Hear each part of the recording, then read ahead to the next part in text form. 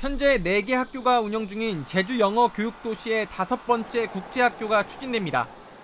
싱가포르 국제학교 ACS의 국내 법인이 ACS 제주 국제학교를 설립하겠다며 지난해 2월 제주도 교육청에 설립 계획 승인 신청서를 제출했습니다. ACS 제주는 유치원부터 고등학교까지 56학급 1,130명 정원으로 계획하고 있는데 이미 문을 연 국제학교들과 달리 천억 원 가까운 재원을 민간에서 조달한다는 입장입니다. 설립 허가가 완료되면 영어 교육 도 시 내 11만여 제곱미터의 부지가 남아있는 이곳에 민간 투자 ACS 제주 국제학교가 들어설 것으로 보입니다. 교육청은 지난해 서류 미비로 신청을 반려했고 올해 초에도 한 차례 보완을 요구했습니다.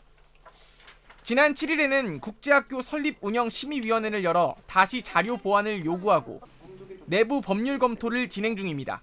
현재는 그 심의 절차를 거치고 있는 과정입니다. 어, 합의되거나 뭐 그런 거는 전혀 없습니다. 이런 상황에 ACS는 홈페이지에 내년 10월 개교를 공지하고 교사 채용 공고를 올리는 등 준비에 나섰고 국제학교 컨설팅 업체나 부동산 업체들이 이를 이용해 홍보에 열을 올리고 있습니다. 설립을 기정사실로 해서 지금 모집하고 있는 상황도 보이고요. 철저하게 그 재원 조달부터 검증이 필요하다고 보고요. 첫 민간 투자 국제학교인 ACS 제주 설립 신청 단계부터 논란을 낳으면서 앞으로 추진 과정이 더 주목됩니다. KBS 뉴스 박천수입니다.